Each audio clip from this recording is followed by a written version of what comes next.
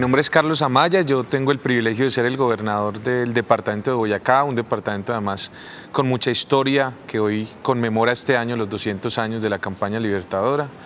Eh, historias maravillosas que creo que tienen mucho que enseñarle al presente cotidiano del país. Eh, creo que tiene mucho sentido hoy en el Bicentenario poder también replantear no solo que la historia se vuelva a enseñar en los colegios, sino replantear cuál historia se enseña. Eh, hay una frase que todos conocemos que la historia la cuentan los ganadores, ¿cierto? Y, pues afortunadamente acá en Colombia hubo unos ganadores que eh, generaron una historia alrededor de lo que también sucedió en Boyacá. Pero hay un montón de personajes que se han invisibilizado eh, y yo siempre recalco mucho la idea de que esa historia de la campaña libertadora tiene mucho sentido en la medida que hay aprendizajes y que hay valores fundacionales de la, de la nación que tal vez hoy se han desconocido. Por ejemplo, la solidaridad. En el pueblo en el que yo nací, en Socha, un, un municipio de 5.000 habitantes al norte de Boyacá, queda tal vez a unas 5 horas de Bogotá, un municipio en el que el 4 de julio de 1819, después de que el ejército libertador atravesase el páramo de Pisba, murieran soldados allí. Tal vez lo más duro de la campaña libertadora no fueron las batallas, sino pasar el páramo de Pisba.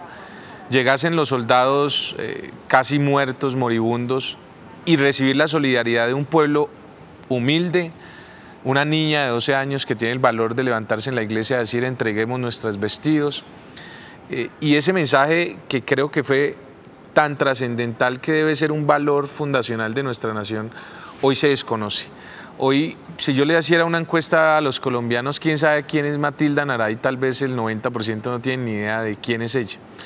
Y, y, creo que ahí hay un mensaje de por qué esos personajes tan importantes se han invisibilizado en la historia y por qué esa historia tan importante para la nación no se cuenta completa, porque no se cuentan también eh, todos esos hombres y mujeres que perdieron la vida en el páramo, aquellos que desertaron. Creo que alrededor de eso hay una, unos mensajes importantes a nuestro presente y mi mensaje hoy en este foro educativo es que no es suficiente con que la historia se enseñe en las aulas, hay que resignificar las aulas y hay que pensar en historias cotidianas construidas desde el territorio que también den mensajes de cómo podemos consolidarnos como nación.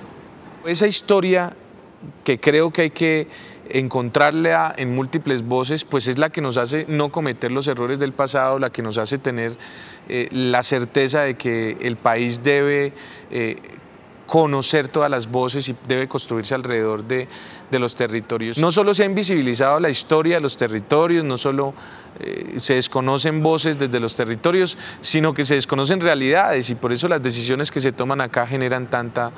Eh, tanta problemática, digamos, en los, en los lugares en donde las comunidades viven y tienen sus casas, sus, sus ríos. Yo siempre digo, el río no se enseña en el tablero. Yo sé qué es el río, cuál es la fuerza del río, qué significa el río y el agua para, para las comunidades, porque crecí en una casa campesina, porque mi abuelo se sentaba no a ver redes sociales, ni Netflix, ni películas, sino a ver llover. Ese era su hobby, ver llover. Porque en, la lluvia hay un gran milagro. Entonces, eso no me lo enseñaron a mí en un tablero, lo aprendí en mi cotidianidad, en entender que el agua es muy importante en el campo. Pero cuando uno va a revisar la historia de la humanidad, pues las grandes civilizaciones han estado alrededor del agua, es decir, eh, en los ríos es que se han establecido los grandes imperios. Ahí hay una historia muy poderosa, pero también hay un relato cotidiano, que cuando las dos cosas se juntan se entiende con profundidad pues este tema y, creo que eso es lo que le ha faltado, entender que hay cosas cotidianas que se deben tener en cuenta en, medio de las, de las grandes... Eh, pues, historias maravillosas que hay que contar, hay historias pequeñas que también nos, nos generan identidad y que también ayudan a que el país avance.